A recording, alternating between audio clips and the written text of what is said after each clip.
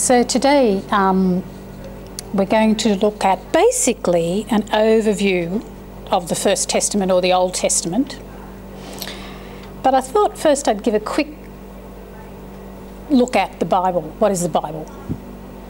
And then look at what is the First Testament, what is the Old Testament. So, if we ask that question, what is the Bible? Well, we could say it was a bestseller. And we know that. But I wonder is it the best read book? Because often it sits maybe on library shelves or in drawers in motels or in shelves in homes, and we don't really look at it. And then when we do, do we really understand the Bible? It's, it's a big text, it's a complex text. And I think we need to come to it with somewhat of an informed understanding. It's an important text because it's the basis of our Western society. Our laws do come from the Hebrew texts, from the laws of the First Testament. If you go into any art gallery, you will see lots and lots of biblical paintings. Lots. I had a, um, a friend, an art teacher who was overseas doing tour of art galleries.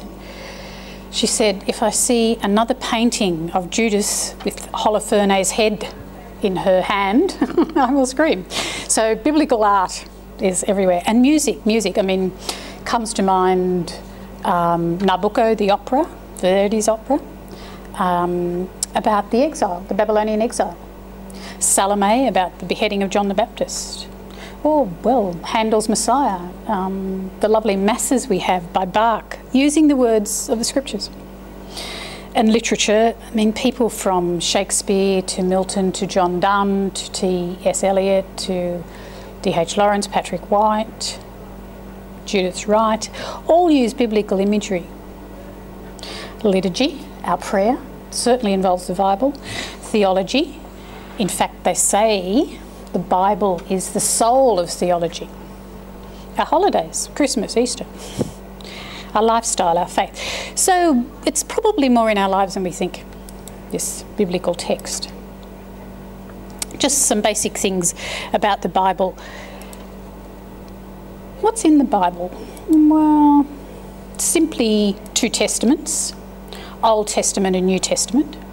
It's broken up into two sections if you look at my Bible, you will see that's the start of Matthew's Gospel. That's the beginning of the New Testament, and this is all Old Testament. It's quite large, isn't it? it's a really big section. This is not quite as large. This, of course, the First Testament, was Jesus' Bible. He didn't have the New Testament, it wasn't written. So, this was where Jesus got his thinking, his ideas, his spirituality, his prayer from. So, as I like to say to my students, if it's good enough for Jesus, it's probably good enough for us to really work on, to look at, to love, to treasure.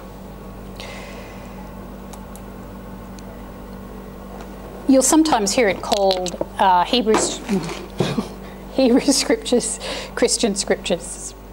And I suppose it's a less religiously chauvinistic way of saying Old Testament, New Testament. Old can sound old, obsolete, no good.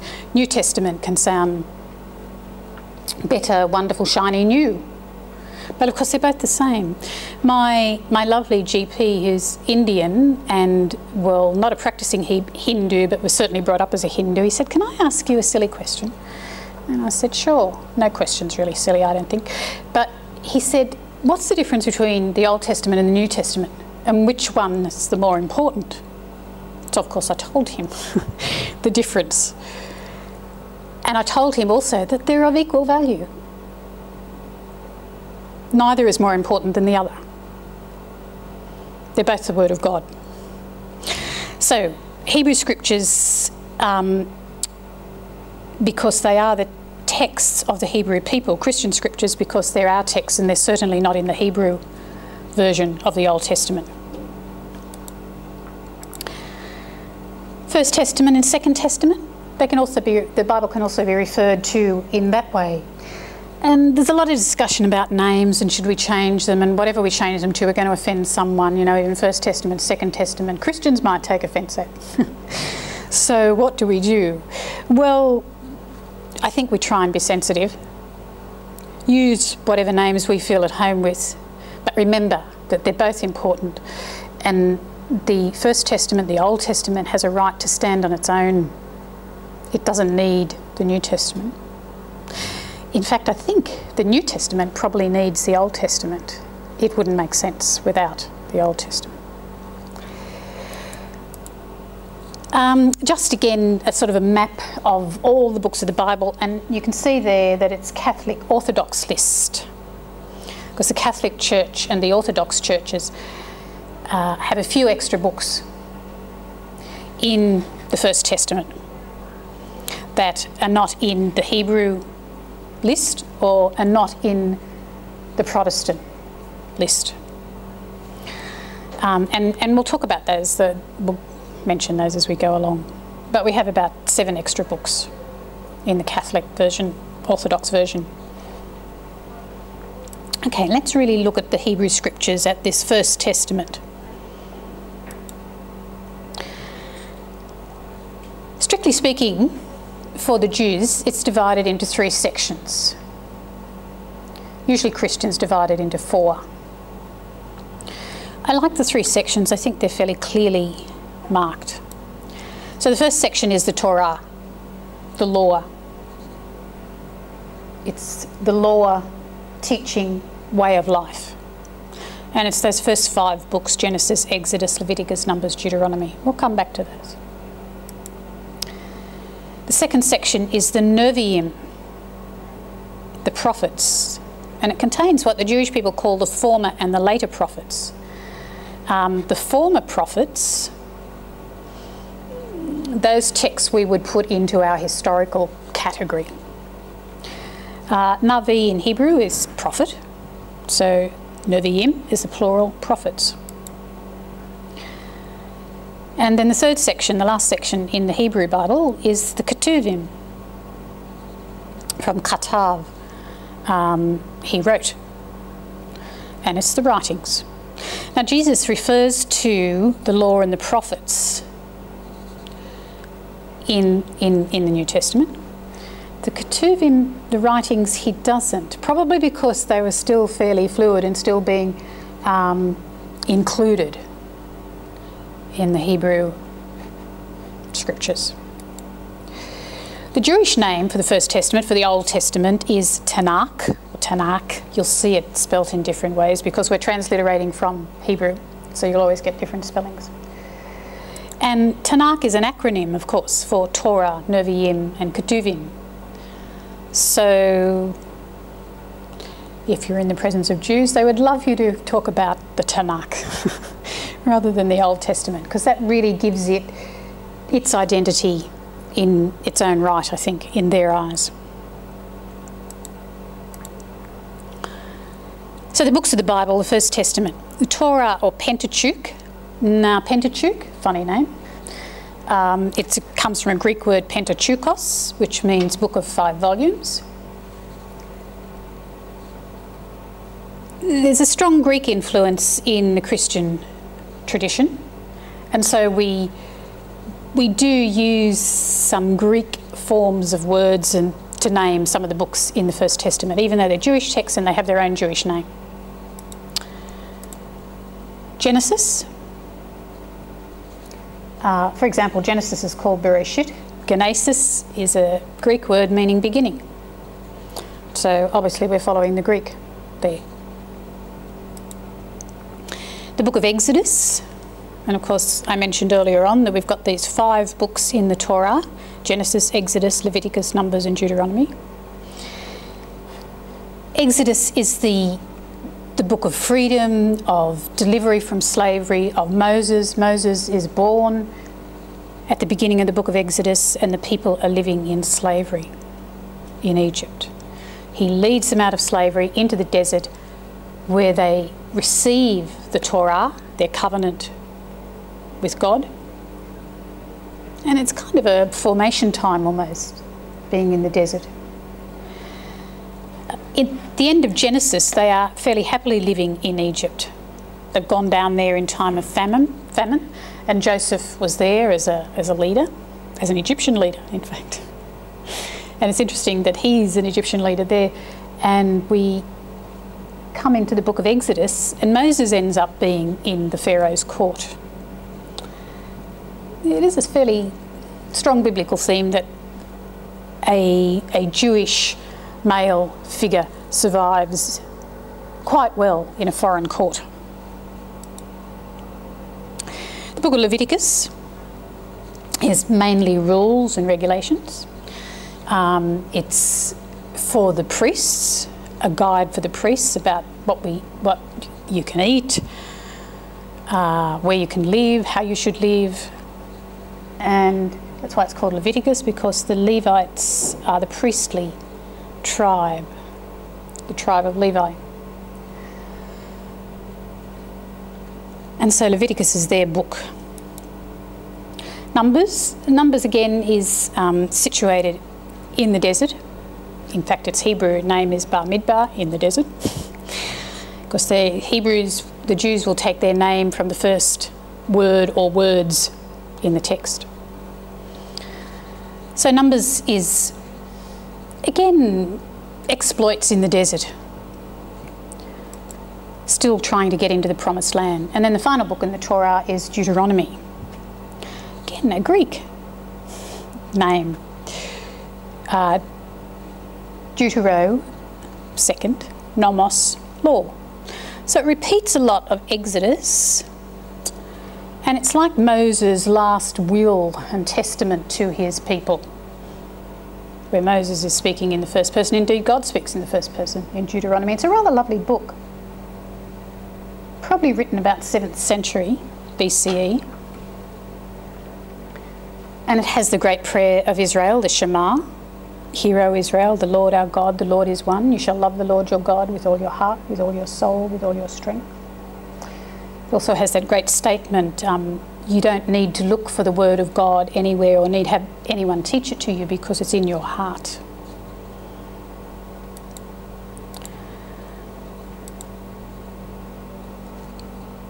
In the next section, and, and we're moving into a sort of a more Christian division category of the Bible in looking at the historical texts rather than that law, prophets, and writings that I showed you earlier. Joshua and Judges, Ruth, 1 2 Samuel, 1 2 Kings. Um, the book of Joshua, Joshua took over from Moses, and Joshua led them into the land. Moses died before they got into Canaan. Joshua leads them into the land and they conquer everything. Divide the land up amongst the 12 tribes. They renew the covenant. And then the next book, the book of Judges, they have 12 judges to rule over them, various times. They write up the story of these 12 judges, one of whom is a woman, Deborah, which is interesting and unusual. I think it shows that Judaism is probably more supportive of women than we think. Judges shows us that they're not all settled in the land. They're still fighting with the Moabites and the Ammonites and the Edomites, the Philistines.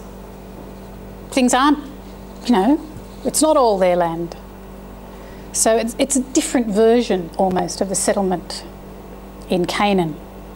The book of Ruth is there because it's set in the time of the judges, but probably it's written much later, and it's a story about a relationship between two women Often, ironically, it's a text that's used in weddings with that lovely statement wherever you go, I will go, wherever you live, I will live, your people shall be my people, your God, my God. It's a beautiful statement.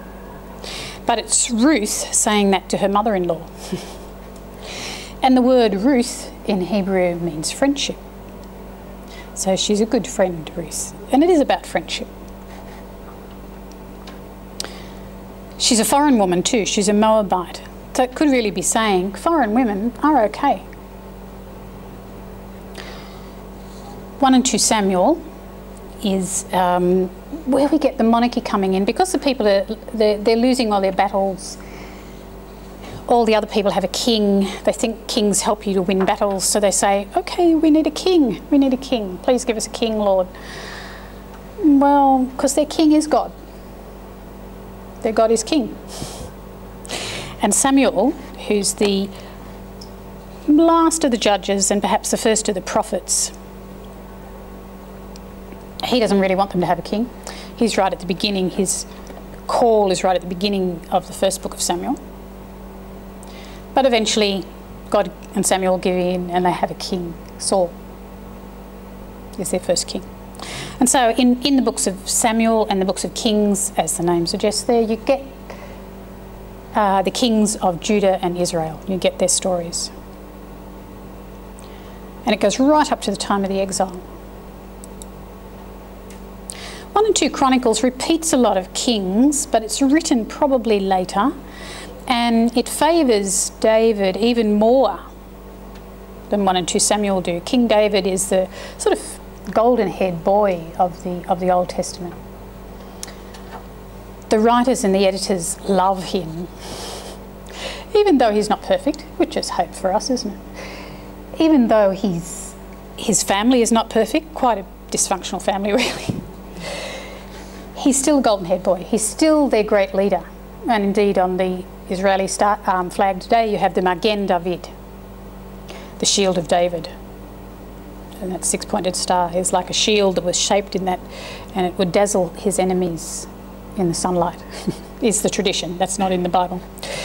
But the chronicler in Chronicles, which is a book we don't look at, two books we don't look at very much, kind of even whitewashes some of David's faults. So it even favours him even more. The books of Ezra and Nehemiah are during the restoration after the exile when the people come back from Babylon. And Tobit, Judith, Esther. Um, they've got asterisks there. At, I've put an asterisk there at Tobit and Judith because they're two of the books that we have, the extra books, the Deuterocanonical or apocryphal texts. Now, they're still Jewish texts, but they're included in the Christian um, version of the Old Testament. Um, Judith and Esther. Esther also has some apocryphal bits in it too. It has some extra bits based on the Greek translation. 1 and 2 Maccabees the same. They're not included in the Hebrew, although they're great, valiant stories about Hebrew heroes. They're not included in the Hebrew canon of the Old Testament, but we Greeks and Western Christian, Western Catholics have them in.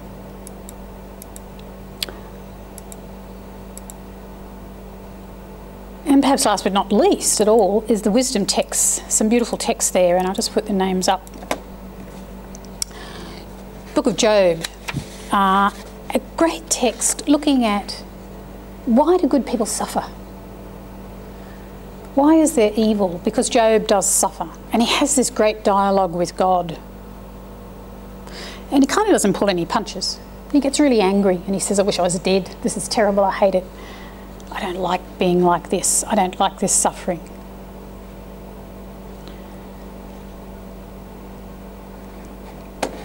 Does Job really answer that problem? Probably not, but he certainly looks at it. And he looks at it very bravely. And in the end, he says, I have seen you with my own eyes through my suffering. And I know. So he's learnt through his suffering, he says.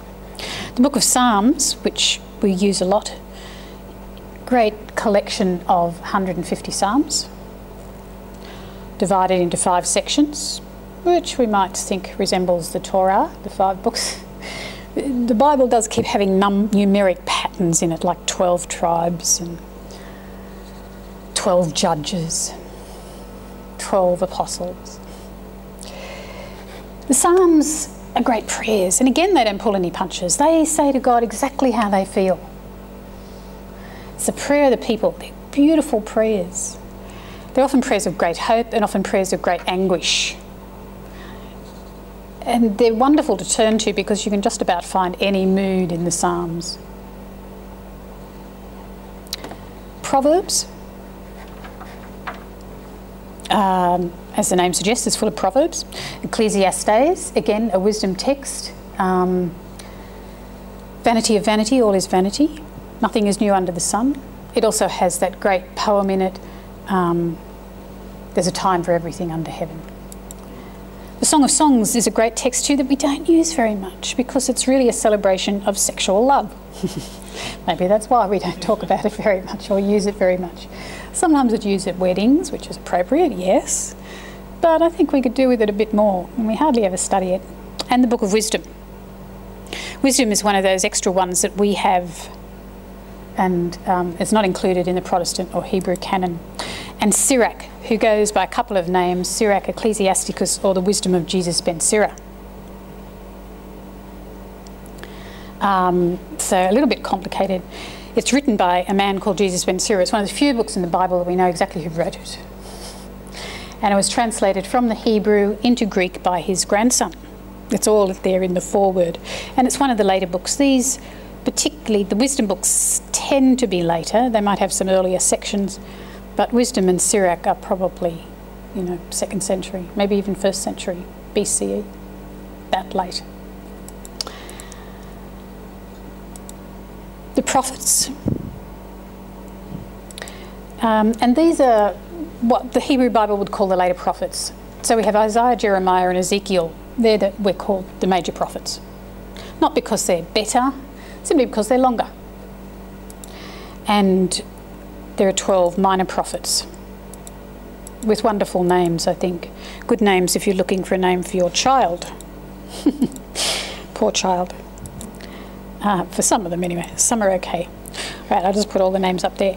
Um, prophets go from pre exilic times, from the 8th century, right through until about the 4th century post exilic.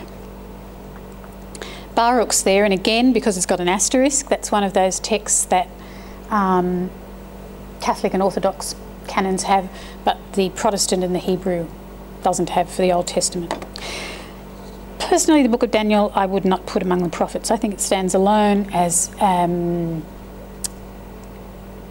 as an apocalyptic text. Apocalyptic texts have strange visions, weird dreams, but they've really got a message saying good will triumph in the end. There's some apocalyptic sections in the prophets too. Well, that's a very quick overview, a map of the First Testament.